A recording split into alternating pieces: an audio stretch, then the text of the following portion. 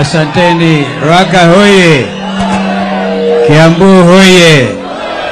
Hebu tusalimianeni tena. Mimi nimefahamishwa kwa sababu hapa Ruaka pamekuwa haraka sana, mpaka mmeanzisha uchumi wa ki- Kiruaka na ni mambo ya ajabu. Nimeona vile Uhuru alijaribu akaweka hizi connections za barabara hizi ndio maendeleo yawe na ya haraka, lakini kuna wale halo? Halo? Halo, haya ili wenzangu nao wasalimie, kwa sababu nyinyi mnafanya kazi kwa bidii sana.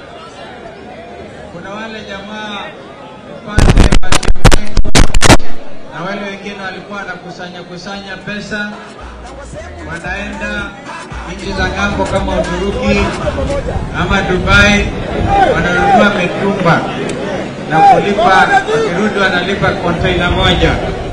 Sasa kila mtu anaambiwa ile wamekusanya kusanya, kila mtu atoe alipe yake mwenyewe. Hiyo ni kusaidia wananchi ama ni kuwamaliza? Wanasema wamefix uchumi. Huwezi kufix uchumi kwa kumfix mwananchi. Wanafix uchumi. Kwa mfano sasa, dola moja dola moja imefika 140 actually 142 kumaanisha hata mitumba hatuwezi kuleta. Kwa hivyo hawa ni watu ambao wana wa, kusema kweli wangewacha njia wale ambao wanajua kuongoza nchi wajaribu. Mimi na mzee Kibaki tulijaribu mara ya kwanza, vile mada anasema kutetea askari wetu hatukutaka kabisa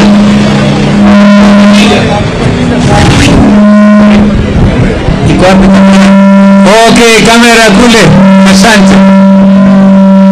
Unajua siku hizi wa KK wanaadaa askari polisi kuwaambia wameunda commission waangalie maslahi yao.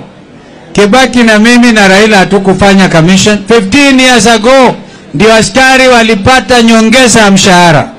Kwa hivyo msije mkatumiwa Jumatatu. Nataka mjue dunia nzima, hata Wafaransa wanaandamana. Ukienda Israeli wanaandamana. Ni haki. Ukienda nchi yetu Belarus wanaandamana.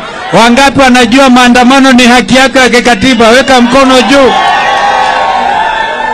Ninafurahi zaidi na hapa, unajua nikiwa Kiambu niko kwa Wadhoni, nimekuja na wasichana wa Kamba wengi. Unajua tuna tabia, tulikuwa nakuja kwa sababu ya, ya njaa. Tunakuja wakati wa njaa, tunawacha msichana moja, tukirudi wale mwingine amezaa. Ndio sasa udhoni ukaingia hapo. Muriega, Muriega Adhoni, hebu nisalimieni tena.